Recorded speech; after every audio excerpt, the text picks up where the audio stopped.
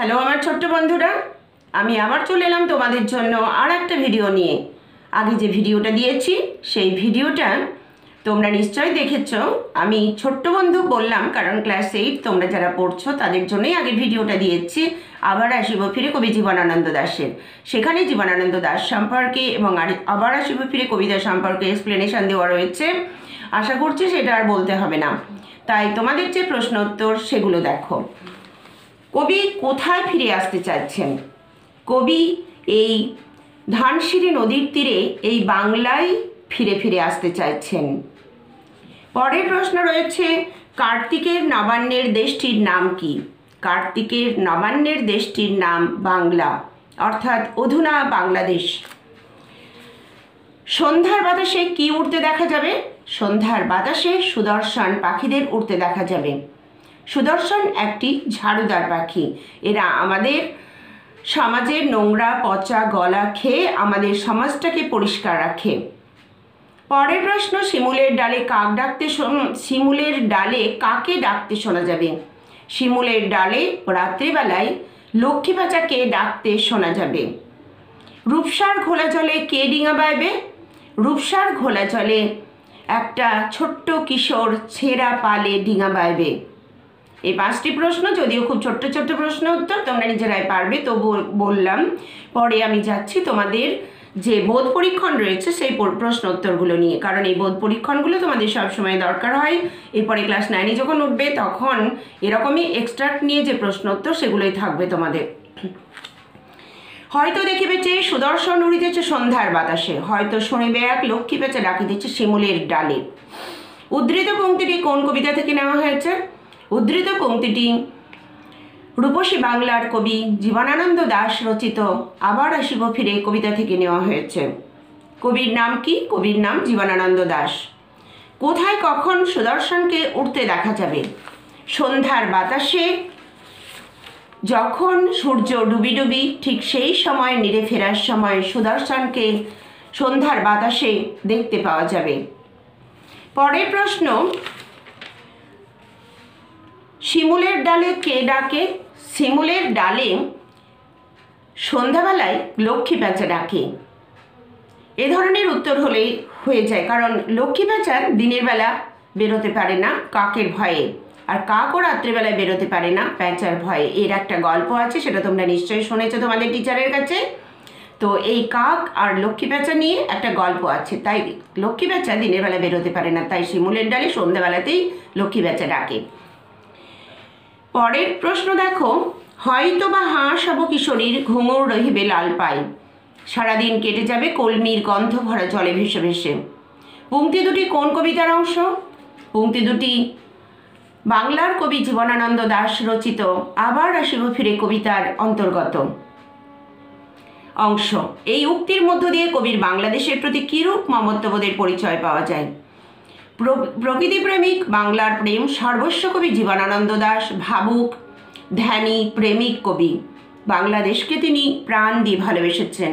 আমরা যেমন আমার মাকে প্রচণ্ডভাবে ভালোবাসি, ঠিক সেরকমই কবি বাংলাকে জন্মভূমি বলে সেই জন্মভূমিকে মায়ের মতন করেই ভালোবেসেছেন। কারণ আমরা জানি, মা এবং জন্মভূমি দুজনেই আমাদের কাছে সমান ভালোবাসার পাত্রী। তাই কবি এই বাংলাদেশকে এতটাই ভালোবেসেছেন যে বারবার তিনি এই প্রকৃতির কোলে এই বাংলার বুকে ফিরে ফিরে আসতে চান।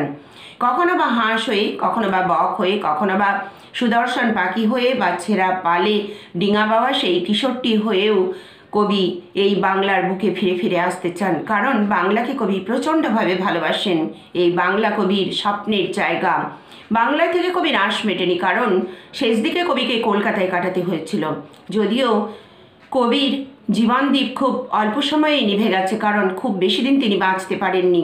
এই পৃথিবীতে থাকতে পারেননি। তবুও বাংলাকে তিনি এতটাই ভালোবেসেছেন যে বাংলার প্রতি মমত্ববোধ, স্নেহ, প্রেম, প্রীতি, ভালোবাসা ঝরে পড়েছে। কারণ এই মাঠ, ঘাট, নদী কাক, বক, চিল, পশু, পাখি সমস্ত কিছুকেই কবি প্রাণ দিয়ে ভালোবেসেছেন। এই বাংলার প্রতি যে মমত্ববোধ কবির এই কবিতায় ফুটে উঠেছে। কারণ কবির প্রাণের বাংলা, এই বাংলা। কবির মা, এই বাংলা। কবির ভালোবাসার, কবি প্রেমের বাংলা, এই বাংলা। এটাই এই প্রশ্নের উত্তর। দেখো, তোমাদের প্রশ্নের উত্তরগুলো তো সবই হয়ে গেল, তবে গ্রামার পোর্শনের প্রশ্ন তোমরা যদিও পারো তবু আমি একটু আলোচনা করে দিই। পদান্তর দেখো রয়েছে করুণ, কারুণ্য। সন্ধ্যা, সান্ধ্য। শিশু, শৈশব। মেঘ, মেঘলা। লিঙ্গ পরিবর্তনটা খুব ইজি কিশোরী ঈশ্বর নদী, নদ। ধবল, ধবলি। ধবল মানে সাদা, ধবলি। স্থূলাক্ষর বিশিষ্ট পদগুলির কারক বিভক্তি নির্ণয় করো। আবার আসিব ফিরে ধান সিঁড়িটির তীরে তোমরা কারক সম্পর্কে জানো কোথায় বা কোন সময় দিয়ে প্রশ্ন করলে যে উত্তর পাওয়া যায় সেটা হয় অধিকরণ কারক। এখানে ধান সিঁড়িটির তীরে। মানে কোথায়? বলা হয়েছে। তাই এটা অধিকরণ কারকে এ বিভক্তি। নেক্সট দেখো আ নাম্বারেরটা জলাঙ্গীর ঢেউয়ে ভেজা বাংলারে সবুজ করুন ডাঙায়। জলাঙ্গীর ঢেউয়ে ভেজা বাংলার এ সবুজ করুন ডাঙায়। ডাঙায় এখানেও বলেছে কোথায়? এটাও অধিকরণ কারকে অন্তস্থ বিভক্তি। পরেরটা রয়েছে, এক লক্ষ্মী পেঁচা ডাকিতেছে শিমুলের ডালে। কে দিয়ে প্রশ্ন করলে বা কী দিয়ে, কে দিয়ে প্রশ্ন করলে যে উত্তর পাওয়া যায় সেটা হলো কর্তৃকারক। এখানে লক্ষ্মী পেঁচা কর্তৃকারক, কর্তৃকারকের শূন্য বিভক্তি। কিশোর এক সাদা ছেঁড়া পালে ডিঙাবাই। কিসের দ্বারা ডিঙাবাই কবি? পালের দ্বারা। সুতরাং করণ কারকে এ বিভক্তি। এটা নিশ্চয়ই তোমরা বুঝতে পেরেছ। করণ কারকে, যদি কারক সম্পর্কে তোমাদের কিছু জানার থাকে, কারক সম্পর্কে আমার ভিডিও দেওয়া রয়েছে এই অসীমাম স্টাডিজে যদি প্রয়োজন মনে করো, তাহলে কারকের ভিডিওটা তোমরা সার্চ করে দেখে নিতে পারো। আচ্ছা গদ্যরূপ লেখ যেটা আছে, হয়তো দেখিবে চেয়ে সুদর্শন উড়িতেছে সন্ধ্যার বাতাসে। এটা কি হবে? হয়তো দেখবে চেয়ে সুদর্শন উঠছে সন্ধ্যার বাতাসে। নেক্সট রয়েছে, হয়তো শুনিবে এক লক্ষ্মী পেঁচা ডাকিতেছে শিমুলের ডালে। হয়তো শুনবে এক লক্ষ্মী পেঁচা ডাকছে শিমুলের ডালে। নিশ্চয় প্রশ্ন উত্তরগুলো সবটাই বুঝলে, তবে আমি আরও কয়েকটি এক্সট্রা যে প্রশ্ন উত্তরগুলো রয়েছে, সেগুলো আমি একটু বলে দিই। দেখো, এই কবিতায় কটি নদীর নাম রয়েছে। এই কবিতায় কিন্তু তিনটি কবির নাম রয়েছে, জলাঙ্গি, রূপসা এবং ধানসিঁড়ি। তিনটি নদীর নাম রয়েছে। কার্তিকের দেশে কবি কি হয়ে আসবেন? কার্তিকের দেশে কবি কাক হয়ে আসবেন। কারণ নবান্ন কবির ভীষণ ভালো লাগে। গ্রাম বাংলার যে নবান্ন উৎসব, সেটা কবির ভীষণ পরিচিত বা প্রিয়। কার কোথায় কীভাবে সারাদিন কেটে যাবে? কবির ইচ্ছা পরজন্মে তিনি হাঁস হয়ে যদি জন্মগ্রহণ করেন, তাহলে ওই কলমির গন্ধভরা জলে তার সারাদিন কেটে যাবে। নেক্সট কোশ্চেন দেখো আমি করেছি। কাকে কেন সবুজ ডাঙ্গার কথা বলা হয়েছে?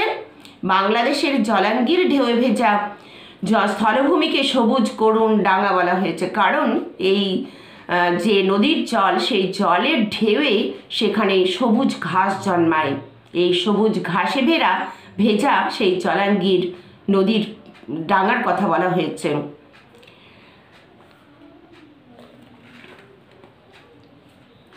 কে কোথায় কি ছড়াচ্ছে? একটি শিশু উঠোনের ঘাসে খয়ের ধান ছড়াচ্ছে। কে কি সাঁতরিয়ে কোথায় আসছে? সাদা বক, রাঙা মেঘ সাঁতরিয়ে বাসায় আসছে, অর্থাৎ নিরে আসছে। কারণ সন্ধ্যাবেলায় আমরা যেমন কাজ ফিরে, কাজ করে সন্ধ্যাবেলা ঘরে ফিরি, পাখিরাও তেমনি সারাদিন এদিক ওদিক ঘোরাঘুরি করে সন্ধ্যাবেলা তাদের বাসায় ফেরে। মেঘগুলি রাঙা কেন? বকেরা সূর্যাস্তকালে বাসায় ফেরে। সমস্ত পাখিরা সূর্যাস্তকালে বাসায় ফেরে এবং যখন সূর্যাস্ত হয়, ঠিক তখন কিন্তু আকাশের রং হয় হালকা লাল। সূর্যের রং কিন্তু ম্লান হয়ে আসে আস্তে আস্তে এবং ফিকে গোলাপি মনে হয়। তাই কবি বলেছেন, রাঙা মেঘ অর্থাৎ লাল মেঘ। কাদের মাঝে কবি কীভাবে ফিরে আসবেন? বাংলার ধানসিঁড়ি নদীর তীরে কবি আবার ফিরে ফিরে আসবেন। জন্মান্তরে তিনি যে কোনো রূপে এই বাংলার বুকে ফিরে আসবেন, কাক হয়ে, বক হয়ে রূপসার ঘোলা চলে সেই ডিঙা বাবা ছেলেটি হয়ে, কিশোরীর হাঁস হয়ে, সন্ধ্যার বাতাসে ফেরা ওই সুদর্শন হয়েও কবি এই বাংলার বুকে ফিরে ফিরে আসতে চান, কারণ এই বাংলা কবির অতি পরিচিত এবং প্রাণপ্রিয়। এই বাংলার প্রতি কবির গভীর প্রেম, প্রচণ্ড ভালোবাসা, তিনি প্রকৃতি প্রেমিক, এই বাংলার প্রকৃতি কবির হৃদয়ের ভালোবাসা ঝরে পড়েছে এই প্রকৃতির প্রতি। তাই কবি এই বাংলার বুকে বারবার ফিরে ফিরে আসতে চান। কবি বাংলার নদী, মাঠ, ঘাট ক্ষেত সব কিছুকে ভালোবাসেন। তাই এই বাংলার বুকে তিনি ফিরে ফিরে আসতে চান বারবার। কবি কাকে বলেছেন, আমার এই পাবে তুমি ইহাদের ভিড়ে? কবির পরিচিত জন অর্থাৎ আমাদের বলেছেন, কারণ আমরা কবির কবিতা পড়ি। কবিকে আমরা জানি, চিনি। যারা সাহিত্যপ্রেমী, তাদের কথা কবি বলেছেন যে আমারই পাবে তুমি ইহাদের ফিরে। অর্থাৎ যার, যা, যারা কবিকে ভালোবাসেন, তাদেরকেই কবি বলেছেন এই কথা। রূপসার ঘোলা জল কেন? রূপসা একটি নদী, গ্রামের নদী, ছোট্ট নদী, জল কম থাকে এবং সেখানে ছোট বাচ্চারা হয়তো সেখানে খেলাধুলা করে, স্নান করতে যায়। সেখানে জলের মধ্যে সাঁতার কাটে, তাই রূপসার ঘোলা জলের কথা বলা হয়েছে। কিশোরের ডিঙির পাড় ছেঁড়া কেন? গ্রাম বাংলা হচ্ছে কৃষি প্রধান দেশ কৃষি প্রধান জায়গা। সেখানকার মানুষ খুব একটা ধনী নয়, দরিদ্র। এই দরিদ্রতার কারণ বোঝাতে গিয়েই কবি ছেঁড়া পালের কথা ব্যবহার করেছেন। কবি বলেছেন, যদি তিনি ওই ছেঁড়া পালে নৌকা বাবা কিশোরটি হয়েও এই বাংলার বুকে আসতে পারেন, তাহলেও তিনি নিজেকে গর্বিত মনে করবেন। এই কয়েকটি প্রশ্ন উত্তর আলোচনা করলাম, এরপরেও যদি তোমাদের কোনো প্রশ্ন উত্তর এর প্রয়োজন হয়ে থাকে, তবে আমার কমেন্ট বক্সে জানিও। আর যদি ভালো লেগে থাকে ভিডিওগুলো, তাহলে একটা লাইক শেয়ার ও সাবস্ক্রাইব করে দিও তোমার অন্য বন্ধুদের দেখার জন্য। পরে আবার অন্য কোনো ভিডিও নিয়ে আসছি, ততক্ষণ ভালো থেকো সবাই। ধন্যবাদ রইল।